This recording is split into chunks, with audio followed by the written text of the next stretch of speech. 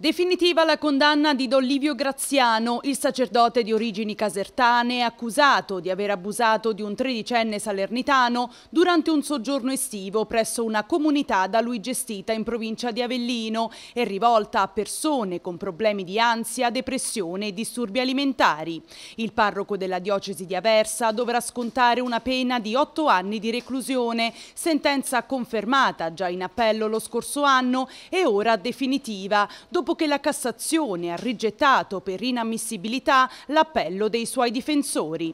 I fatti risalgono al 2021. I genitori del ragazzo, allora tredicenne, denunciarono Don Livio dopo essersi accorti di strani messaggi e comportamenti da parte del figlio. Il padre del giovane, infatti, insospettito dall'incessante attività di scambio di messaggi, si rivolse ai carabinieri che, acquisita la testimonianza del minore, iniziarono ad indagare sul sacerdote sacerdote. Determinante la perquisizione eseguita nell'alloggio del parroco e a seguito di approfondite perizie nel suo telefono vennero scoperti messaggi equivoci e foto del tredicenne nudo.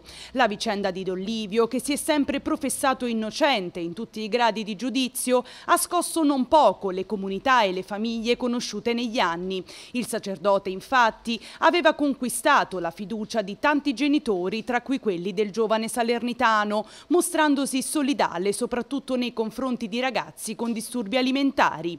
Una fiducia però crollata dopo quanto accaduto al tredicenne nell'estate del 2021.